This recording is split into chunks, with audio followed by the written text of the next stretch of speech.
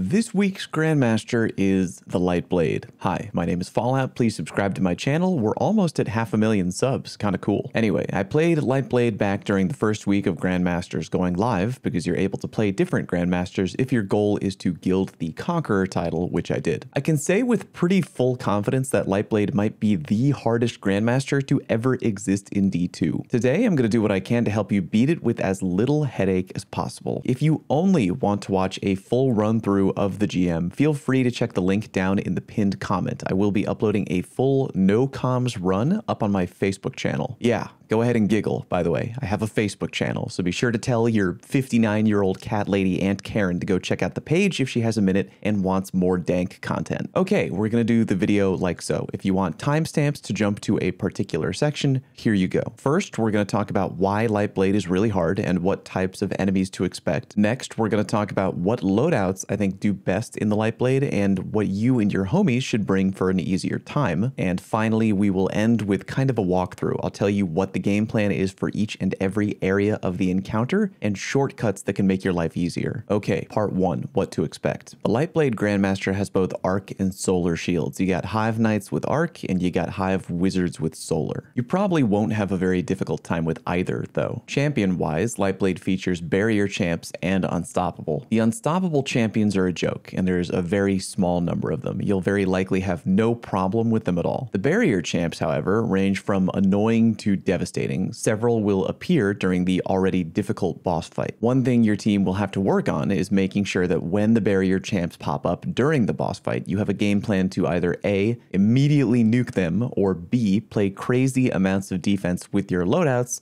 i.e., bubble, stasis turret, whatever, to delay them while you pick them apart. TLDR, the barrier champs can be very rough in the Light Blade. The next thing you're going to want to take note of are the Lucent Hive. Those things are brutal in the Light Blade GM, and if you don't give them enough respect, they're going to ruin your run. Their shield throw attack can and will one-shot you. Their suppression grenade throw can and will one-shot you. The worst part, though, is that you can't just kill them from far away like you can do with other champions. You got to be prepared to run in and mush their ghost, or they'll come back, and you really don't want that happening. There will be multiple Lucent Hive Bros popping in during the boss fight room. Be prepared to deal with them one way or another, or you will wipe. Oh, and uh, because Lucent Hive are so awful, killing one completely will give you three extra team revives instead of the usual one. Final thing to be careful of is the boss. Lightblade features an acute arc burn, meaning while you'll be able to deal an extra 25% damage with anything arc, you will also also take an extra 50% incoming arc damage. The boss's main ranged attack is a projectile arc bombardment, and if you're out in the open when it hits you, you are literally going to turn into a human piece of toast. Be prepared to do a lot of hit and running. Don't be a hero. If the boss is targeting you with his ranged arc attack, wait it out and don't ego challenge. Most people are going to die in the boss room right at the beginning anyway because they are ego challenging. All right, part two, team build crafting. Starting with hunters, it should should come as no surprise that my hunter recommendation is, drumroll please,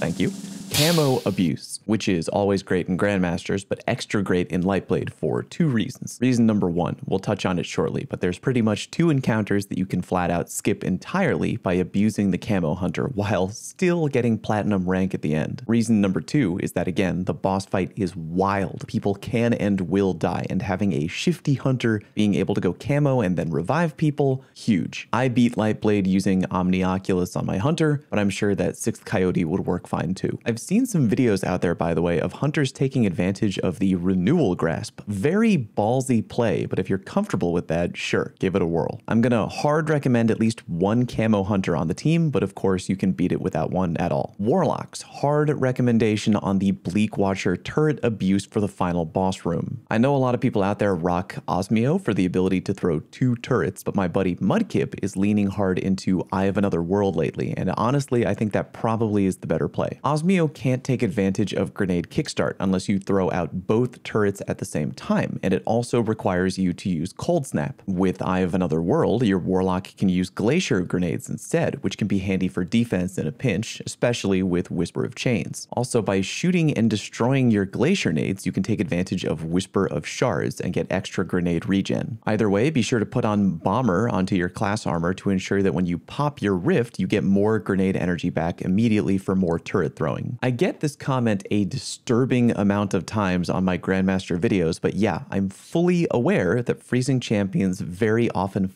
up how they take damage. In Lightblade, it is 1000% worth it in the boss room though, because even if I had to theoretically deal double damage on a champion because they were frozen, completely immobilizing one while you deal with the other is great. Believe me, the turret's completely tripping up the enemies, even champions, is wonderful, especially when you're in a tiny nightmare room like the Lightblade boss room, and I'm not to stop doing it anytime soon. You could probably also rock Chaos Reach Warlock. I haven't yet, but Chaos Reach with an extra 25 percent damage output from the acute arc burn would probably make very short work of the barrier champs and Lucent Hive in the boss room. Titans, you have to decide if you want to go defense or offense. Defense Titans should go either Banner Shield or Bubble. Banner Shield is tempting, and I don't think I saved a clip of this anywhere, but one time when running Lightblade, a Lucent Hive threw a Void Shield through our Titan's Banner Shield, and it ended up getting a double kill. Either way, defensive Titans, try and save your super for reviving dead teammates in the boss room or for dealing with champions and or Lucent Hive. Offense Titans, Falling Star Thunder Crash does a lot of damage out here with the acute arc burn. If you get a bit of damage on a Lucent Hive or champ, you can fly in with Thunder Crash, polish off the hive, and crush their ghost. Again, the only downside there being you'll have less defensive options on the table, but a little offense in the boss room for champion nuking can be a really good thing. General armor mods. Lucent Finisher on your artifact is great. You got champions and Lucent Hive out here in Lightblade, and it'll give you free heavy ammo each and every time if you finish one. At least one person on your team should run it, but if you can, two or all three players would be hella great. Ammo finder mods on your helmet, of course, and ammo scavenger mods on your leg armor, of course. For your chest armor, I'm going to be real with you guys. I have not done, nor do I know of anyone who has done any real concrete testing about how effective thermoshock plating is in the Lightblade GM. I feel as though stockpiling up on defensive armor options is probably the best play. Then again, it is also possible that no matter how high you stack up on defensive options, the boss may just mollywop you in one hit with his arc attack, either way. Still, I'm going to recommend running double thermoshock, and if you can, put on an artifice chest piece from the GOA dungeon so you can run double thermoshock and concussive dampener all at the same time. For extra protection, consider running the following two armor mods as well. Protective Light. I know it got nerfed and only gives a little bit of protection, but anything that can help you stay alive should be the priority. Obviously, you have to pair that with a way of getting charged with light. Taking charge is usually my go-to. And also Striking Light, which the secondary perk allows you to get extra DR against enemies if you're sprinting. For your class armor or for your gauntlets, either double the utility kickstart if you're going to be abusing something like the Hunter Dodge for repeated camo use, or double bomber if you're a Shadebinder Warlock taking advantage of your turret.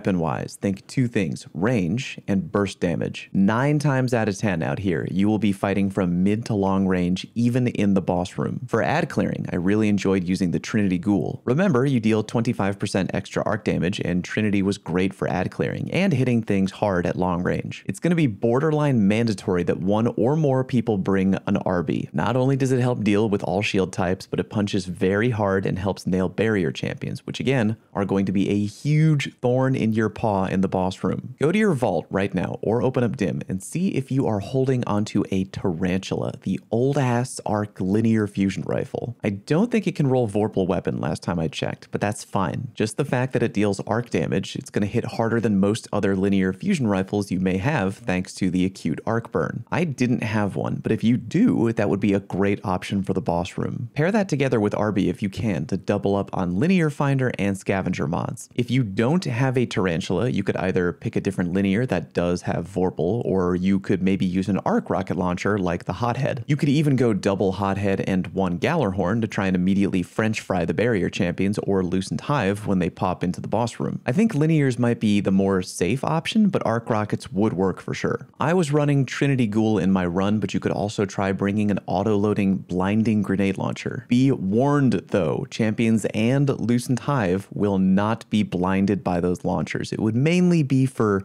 Acolyte and Thrall blinding. Not ideal, but better than nothing. Witherhoard could also probably work pretty well, but the downside being you would lose out on Arby or G-Horn. You could, in theory, go with Witherhoard, Point of the Stag, and Hothead, provided somebody on your team has one Arby to deal with all the shield types. Alright, moving on to part 3, aka tips for each encounter. The opening encounter used to be just an annoying time sink, until, that is, I learned that you can literally skip the entire opening fight, including the two barrier champions and still get platinum rank at the end of the GM. If you don't believe me, watch the full run I'm uploading up on the Facebook channel. We skip the entire opening encounter, including the champions, and get platinum at the end. Here's how to do that. If you want to be real safe, first damage the big bad boss from far away with hard hitting weapons. After just a touch of damage taken, he will teleport out of the area. If you have a camo hunter on your team, and again, you probably should, send that player forward while invis until they're through to the next area. When they go ahead far enough, all the enemies in the opening area, including the champs, will despawn and you're good to go. Feel free to play out that opening encounter if you want, just do it from long range. But again, you can skip all of it and still get platinum. The next area is going to be rough. You'll be indoors and you'll have to deal with both barrier champs and Lucent Hive. The champs are annoying, but the real problem are the Lucent Hive. Champs can be murdered from far away, but Lucent Hive need to be finished, which requires you being up close. Try to stay up top where you came into that room for as long as you can. Be aware though that after killing a set number of enemies, including trash enemies, the barrier champ, and the first Lucent Hive, another Lucent Hive will spawn in the back where you entered the room on that elevated platform. Be fully prepared to run away back down that hallway and turn it into kind of a battle of attrition. You can lure the Lucent Hive into the entrance of that hallway, kill them, then run in to smush the ghost. Be warned,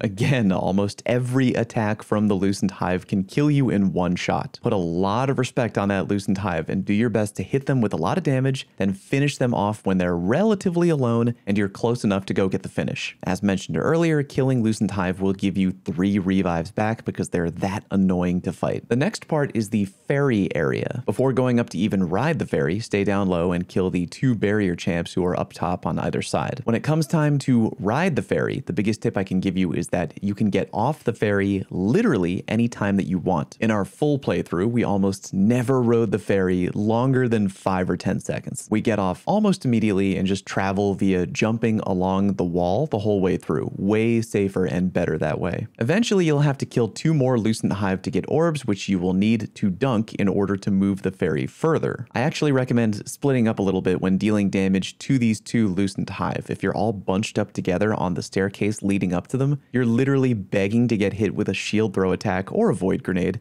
and then bam, your whole team is dead. Go ahead and deal safe damage from a decent range and take your time. If the Lucent Hive starts throwing garbage at you, fall back for a minute if you need to. At the end of the ferry ride, again, no need to even ride it all the way. Go on foot, jumping from bridge to bridge, and at the very end, you can just go through a green portal to get back to where the ferry is parked. Thrall are then going to repeatedly jump onto the ferry. You can just stay back and shoot them from afar. Remember that right when you go through the portal, there's actually a platform up above above you that you can jump up to in order to get a better view of the ferry. Next is the Omega Annoying Swamp area. To me, this is by far the biggest reason to bring a camo hunter on your team. The easiest way to get through the swamp we found was to have two guardians literally stay back at the very beginning of the swamp while the camo hunter goes through the entire area alone. If you're looking for a recommended route, try to stay going to the right, and it's going to take you a little bit of practice, but for the most part, great strategy that I hard recommend. Be sure to watch out for the annoying moths that go boom in your face, but just keep spamming camo until you get to the end. Despite getting max darkness debuff or whatever that trash is called, you won't die, you'll just become moderately slow. When you get all the way to the end, all the enemies in the swamp will despawn, except the moths, which is kind of weird. Have your fire team now move through the swamp, being sure to avoid or shoot each moth. After killing one unstoppable champion in a cave in the next area, you'll be up on a platform overlooking a big green outdoor area area. Stay up on that ledge and kill everything out in the area. That would include shooting the big bad boss until he goes away. If you can, save the unstoppable champion for last. That way you can go down and finish him to generate free heavy ammo if you're rocking Lucent Finisher from your artifact. Alright, now you're finally ready to enter the boss room. Be sure to not die on the way down the giant hole and then be ready to play a huge game of keep away. I cannot overstress how overpowered the boss is. He will literally one-shot